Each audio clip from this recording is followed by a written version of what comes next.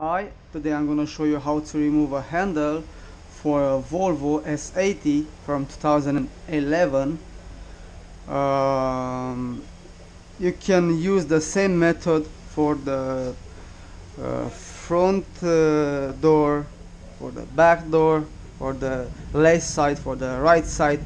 It doesn't matter. Okay we're gonna open the door. We have to identify here we have this uh, plastic cover which we have to remove it. We're gonna have we're gonna need a small screwdriver. And uh, a screwdriver with the Torx 20 or T20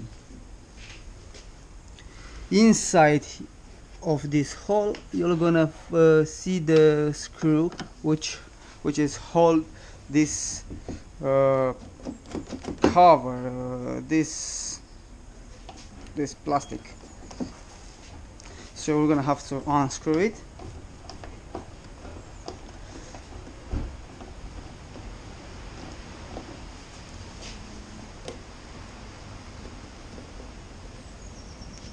Okay. We take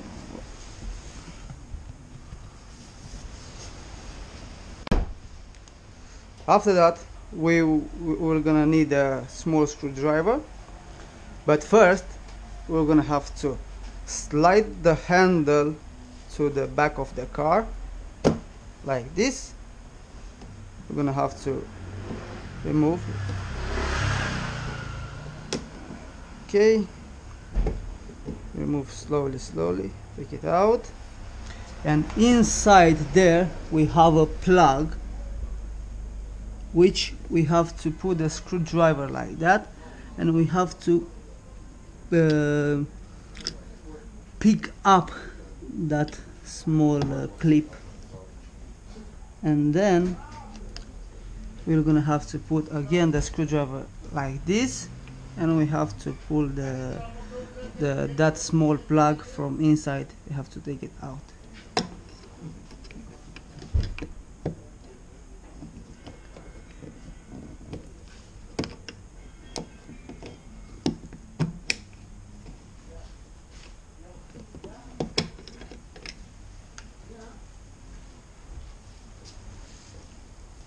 and then we, remove this.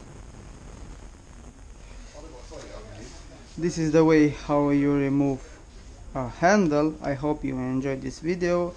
Um, I hope this video is gonna is gonna be helpful for you or for friends. If you are not subscribed yet to my channel subscribe for more video